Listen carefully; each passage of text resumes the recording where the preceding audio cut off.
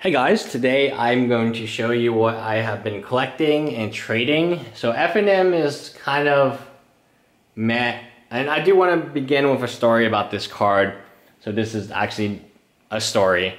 So my local game store, this was the buy box promo, and typically I get, I will buy a box of a new set at $100, which is not a bad price for the store, right? The store is making some money from it, so it's not like I'm rever reverse price gouging the store, which almost never happens in real life. But I expected my promo.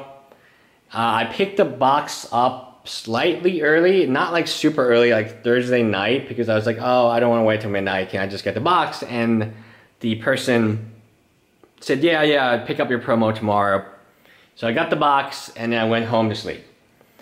The next morning I went to, or the next, I guess afternoonish, I went to the store to pick up my promo and the guy did not give me the promo. He actually said this was a legacy staple and it would be so good and stuff. I was like, no, no, it's not gonna be good. Just give me my father a promo. And he wouldn't give me the promo and we had an argument and he shouted at me, I being a customer who has spent thousands of dollars at this store, and at that time, I said, okay, I've had enough. Keep your promo. I'm never coming back to the store. Which is true. I have kept my word. I have not played at the store since that time. That particular store. Anyway, Faliers, drainers, I made separate videos for them because a lot of you are interested in that type of stuff. I'm gonna go over, so these are just like, I don't know what they are. Steam vents, I, oh, Steam vents. Wow, this is kind of like RTR times, right? Right, when I was collecting Steam vents.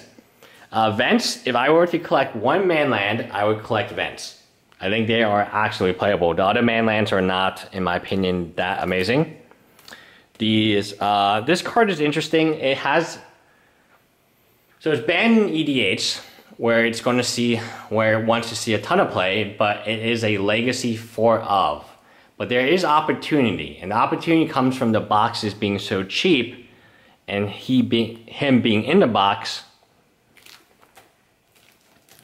Uh, Painful Truth uh, foils are interesting. Kozilek's Returns.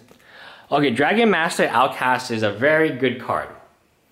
It costs one. It can produce dragons, which is good. Dragon tokens are good. And it's going to hit an all-time low. I would look into this a lot of these cards are going to rotate. So I'm going to call, call this rotation. Nahiri, I would be very happy and I'm going to make a move. Nahiri has dropped a ton. So he does not see, so he used to be part of that very modern spicy deck in modern where you have you throw Emrakul out. But now she does not see much play at all in, in the Eternal format. So I think she's going to drop a ton. I would love to fill up these pages of Nahiri. I think she's very good. I think she's incredible for a Planeswalker. Uh, here's some Eldrazi. I do want to focus on my favorite Eldrazi. Uh, foil, non-foil. I, I, will, I will tell you this. Foils are very hard to sell. And they're very hard to trade.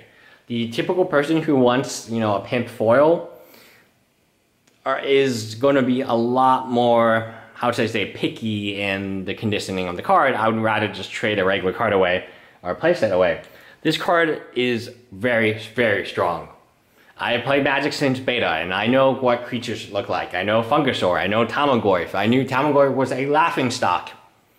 I knew that Lion's Eye Diamond was a crappy card that people would make write Inquest would write articles about how to use it because that was the key. It was so bad no one could use it, so they would write funny articles about how to use Lion's Eye Diamond.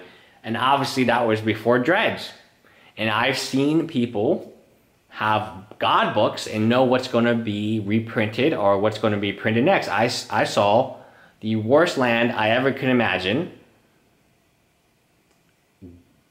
Well, I, I don't know, times 400 in price overnight based on Vampire Hexmage. And you can, it's dark depths, right? If you didn't have Vampire Hexmage or later on the stage, how would you ever activate this? You're putting in too much mana for like this thing. You could literally do anything for, for that matter. But if you could cheat in play, you are good to go. So I have seen a lot of interesting stuff in Magic, but I have not never seen a card like this. This is a very strong card, as I point to a blank page. This is an incredibly strong card.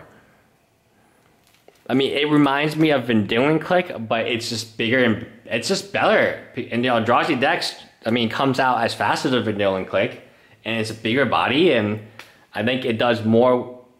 So Vendilion Clique automatically replaces the card for them. This one, they have to kill it, and they cannot kill it with a Lightning Bolt, which is huge. That is huge.